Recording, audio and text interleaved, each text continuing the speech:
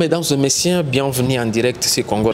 Bonjour mesdames et messieurs, bienvenue en direct sur Congo Live Télévision. Nous sommes le dimanche où nous recevons monsieur Gabriel Kolongo. C'est parmi les, les cadres du parti politique euh, cher à les partis de- du ministre national Mwindo Nzangi Boutondo. Monsieur Gabriel, bonjour et rappelle-nous encore les noms du parti politique.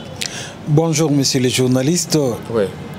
C'est Gabriel Colongo, membre de AVRP Action Voilà. de volontaires pour la relève patriotique.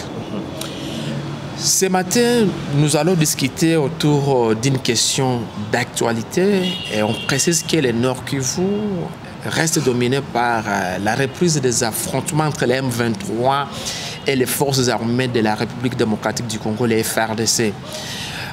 Depuis hier euh, samedi, nous avons suivi sur les réseaux sociaux également il y a nos sources sur place en tout cas dans les retours qui confirment les avancées des FRDC, des avancées significatives à enregistrer. Monsieur Colombo, vous êtes un fils du Nord Kivu et vous suivez de près ce qui se passe dans les retours. Quelles sont les dernières informations que vous avez à votre disposition? Euh, nous disons que le front ou bien ce qui se passe au Nord Kivu, nos militaires se comportent très bien et nos militaires euh, de forces armées de FARDC se comportent très bien sur le champ de bataille.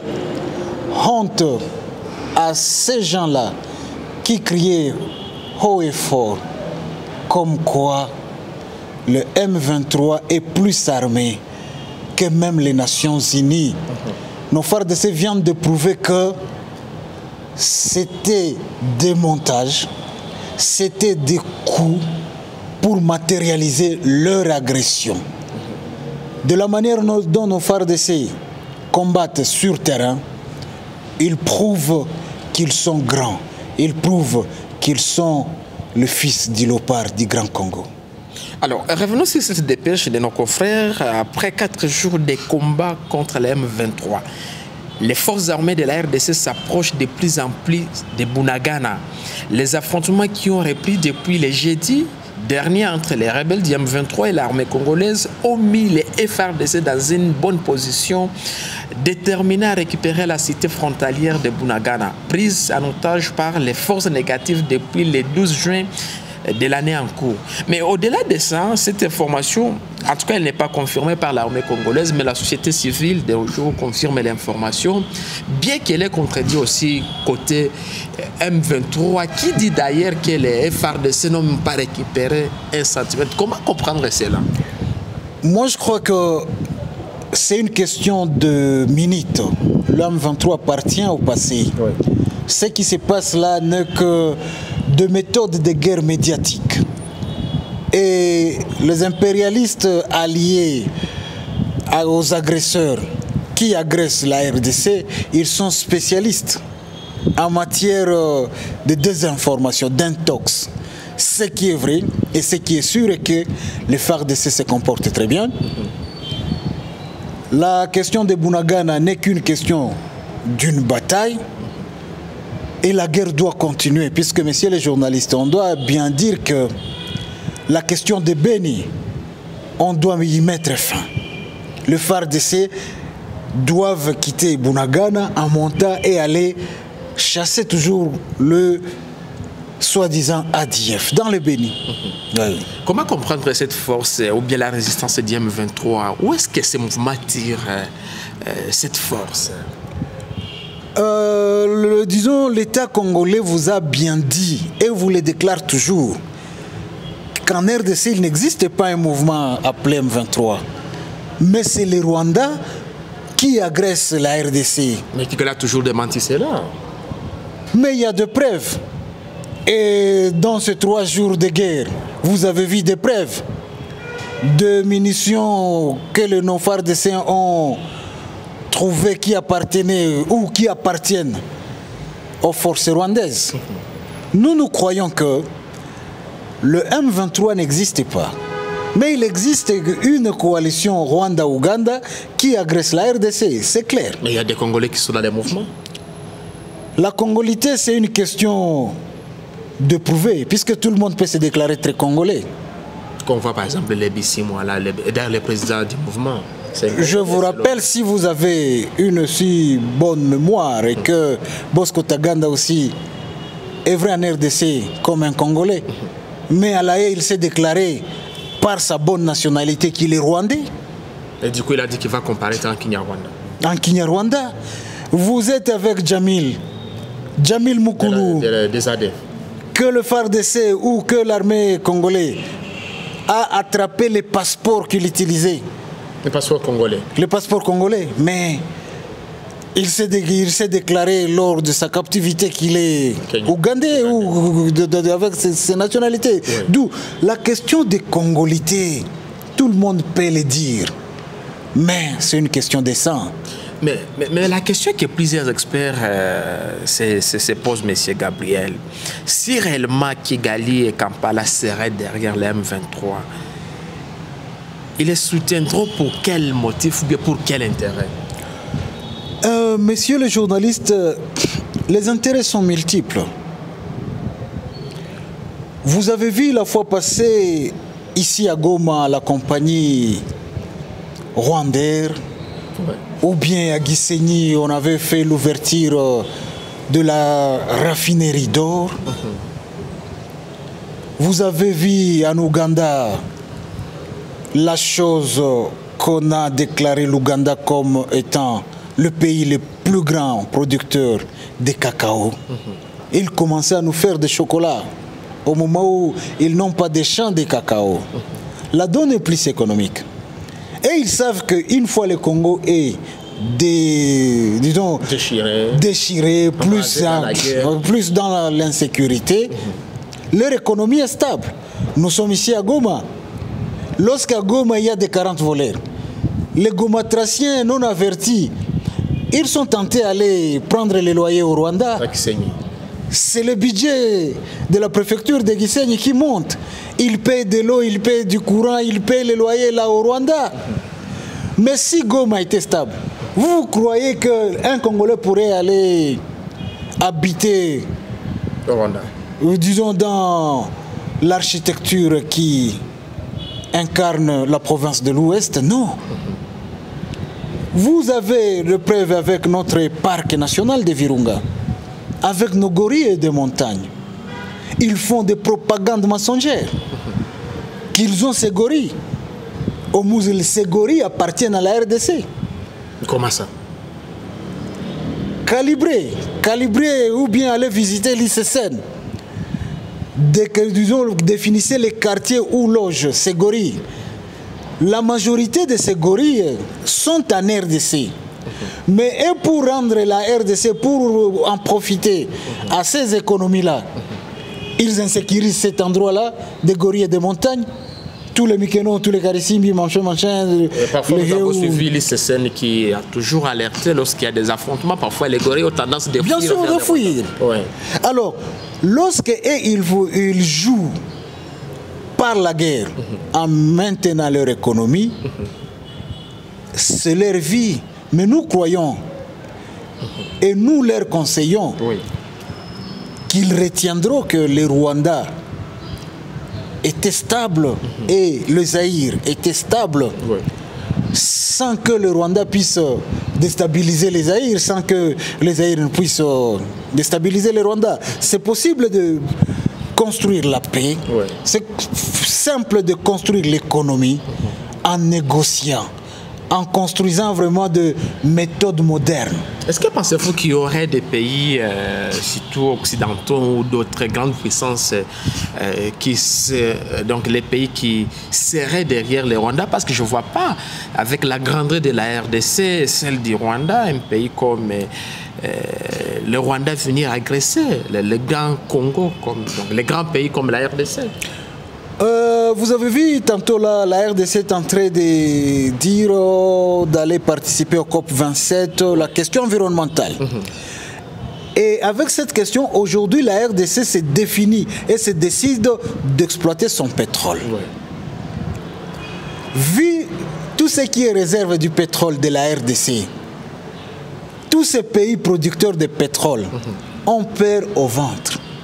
Puisque une fois la RDC commence à produire leur pétrole, leurs réserves qu'ils s'est qu'ils ont du pétrole, ils vont se retrouver KO. Et vous avez vu, ils ont dépêché leur euh, secrétaire euh, d'État. Kinshasa, au- euh, paix. au Rwanda. Manchin, Manchin. Ouais. Et vous avez vu ce que ce secrétaire général, disons ce secrétaire d'État a déclaré. Monsieur. Mais les déclarations de ce secrétaire-là ne sont pas distinctes des déclarations du Rwanda. Ces déclarations de ce secrétaire-là ne pas distinctes d'un- disons, d'une des organisations internationales qui a publié un faux rapport tronqué, mensongère, Euh, Vous voulez parler de Human Rights qui, vous le dites mieux que moi, qui est en train de tromper le monde, que le FARDC n'existe pas. Mais à cette heure qu'ils viennent faire ou bien qu'ils organisent leurs euh, enquêtes pratiques, ils vont constater que la RDC a une armée disciplinée forte que les armées qui nous entourent. D'accord. Nous tendons vers la fin de cet entretien, Monsieur Gabriel. Euh, revenons sur les propos du président Tshisekedi au Ghana. Nous l'avons suivi. Il s'est prononcé sur la question des Bonagana. Il a dit que si jamais, en tout cas, la voie diplomatique euh, euh, n'apporte pas une solution, donc la voie liée à la guerre ne sera pas épargnée. Il a déclaré cela il n'y a même pas trois jours. Et du coup, il y a reprise des hostilités. Les FRDC, en tout cas, mettent pression au M23. Est-ce qu'on peut dire aujourd'hui que la diplomatie a échoué, qu'on est maintenant à l'étape de la guerre? Il faut savoir que nous devons distinguer les choses. On doit faire la guerre pour chasser les bandits qui agressent la RDC et qui se transforment en Congolais. Ça, c'est la première des choses. Et là, nous encourageons nos FARDC qui se comportent bien sur terrain. Et les FARDC rejoignent, disons, les options que nous proposons. Puisque, en mémoire, le secrétaire, nous disons à vos auditeurs que le secrétaire général d'AVRP, nous les citons, l'Excellence Jules, le camarade Jules, Vaiker, a bien démontré le plan que nous avons comme une proposition de socialiser la défense nationale, de rendre locale la défense nationale. Puisque le FARDC, en voyant leurs effectifs, on doit amener le peuple au niveau local à collaborer avec les FARDC en aidant les FARDC par les informations, par, je ne sais pas, la connaissance euh, en matière géographique, euh, ainsi de suite. La population locale doit participer avec l'armée nationale dans sa manière de chercher la paix, dans sa manière de défendre la nation. Est-ce qu'on peut dire qu'on est à l'étape de la guerre euh, contre les M23 maintenant, bien que si- bien qu'il y avait déjà, on voyait toujours cette guerre-là, en dépit des, euh, disons, des, des- des- des déclarations, ou bien de cette dernière déclaration du président Tshisekedi? Euh, nous croyons que les FARDC ne font que répondre aux provocations de FARDC. Mais les M23 accusent les FARDC d'avoir attaqué leur position. C'est leur manière de tromper. Les gens qui ont pilonné Rutshuru, je ne sais pas où, machin, machin, ces agresseurs-là de M23. C'est la première des choses. La deuxième des choses, nous devons souligner qu'en RDC, en date d'aujourd'hui, il n'existe pas un mouvement qu'on appelle M23. Mais c'est une agression rwandaise. C'est le Rwanda qui, a, disons, qui se retrouve au Congo. Mais les M23 revendiquent plusieurs villages qu'ils occupent et attaqués, euh, leur position attaquée par les... On doit dire clairement que le Rwanda a habité Bunagana pendant plus de 90 jours. C'est ce qu'il faut dire au monde. C'est ce qu'il faut dire euh, à nos voisins. Puisque nous avons de preuves, de munitions, des hommes, je ne sais pas quoi. On en a marre. Les preuves sont là. Le Rwanda a agressé la RDC. Et je crois la RDC étant si grande, doit résister et est en train de résister à ces provocations. D'accord, c'est vous qui l'avez dit. Alors, euh, finissons notre entretien par euh, cette alerte. Une alerte relayée par nos confrères de 7 7.7. L'M23 RDF tente d'infiltrer par le secteur Mikeno pour atteindre Nyiragongo et s'approcher de Goma.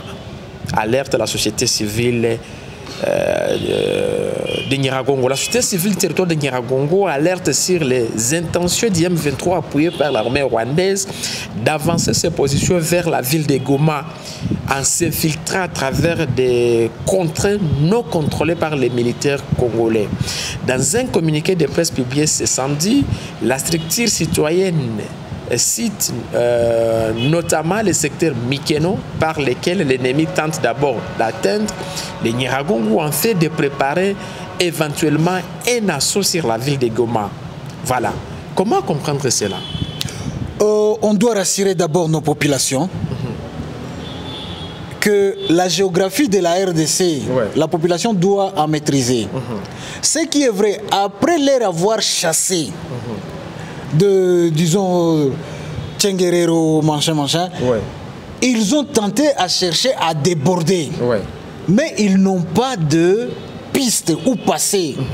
Vu le secteur Mikeno, la majeure, disons, le, secteur- le- le massif de Karisimbi, qu'on dit Karisimbi, Oui. la majeure partie se trouve en RDC. Et ils n'ont pas, les- ils n'ont pas le moyen de déborder. S'ils parviennent à déborder, la première des choses, on dira que le Rwanda a fait l'ouverture de ses frontières. Et disons, le Rwanda a débordé Ouais. par ses frontières en RDC. C'est pourquoi j'attire l'attention de nos services, la DGM. euh, Donc tous les services de sécurité. services de, de sécurité Ouais. qu'il serait prudent, vu les techniques de débordement du Rwanda, de stopper ou bien de fermer les frontières. Pensez-vous que c'est la solution? Moi, je propose ça momentanément, puisque en matière de débordement et d'infiltration, le Rwanda est capable. Question, ou bien pour les manières qu'ils utilisent. Ils utilisent les populations qui habitent le long des frontières. Ouais. Il y a, de, disons, de populations le long de la frontière entre le Rwanda et le Congo qui parlent le Kinyabwisha, manchin, manchin, leur langue là. Et ils utilisent cette langue, ils utilisent ces populations pour euh, y arriver. Vous tiendrez à part euh, cette existence de ces populations. Il y a des populations du Rwanda qui viennent puiser de l'eau en RDC. Ou bien les populations des villages de la RDC qui parfois arrivent au Rwanda pour aller puiser de l'eau. Ou bien des populations du Rwanda qui viennent euh, s'approvisionner en nourriture en RDC. Ainsi, ils utilisent ces mouvements de ces populations pour infiltrer le militaire. Maintenant, pour ne pas amener les populations civiles dans des conflits armés, Ouais. nos services de sécurité devraient être prudents en anticipant par la fermeture de frontières. Merci beaucoup, Gabriel. Mais pour terminer, parlons un peu de cette réaction d'IM23 relayée par leur président, M. Bertrand Bissimois.